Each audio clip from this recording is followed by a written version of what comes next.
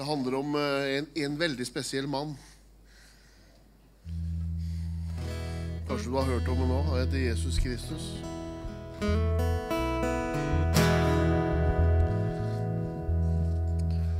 Jeg har møtt Jesus Krist, mannen fra Galilei. Jeg har sett hans guddommelige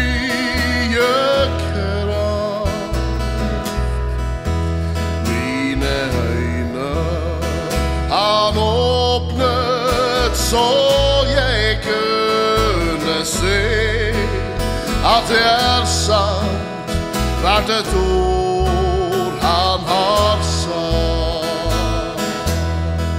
For han har sonet min synd. Han tok straffen for seg, for at jeg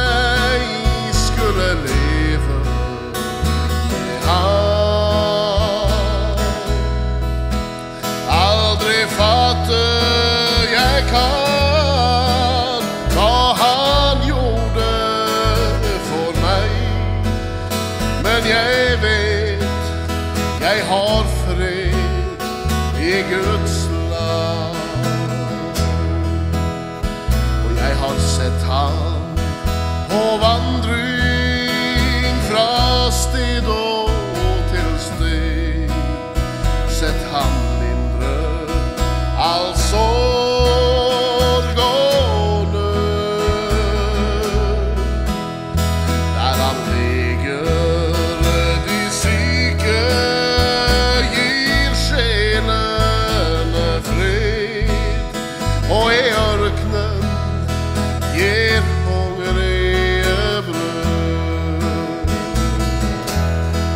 For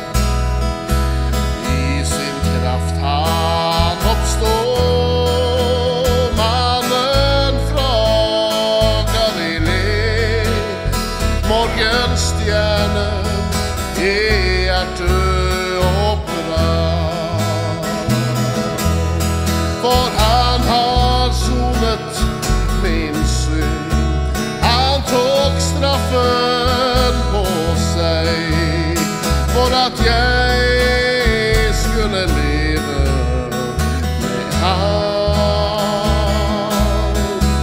Aldri fatte jeg kan hva han gjorde for meg. Men jeg vet jeg har fred i Guds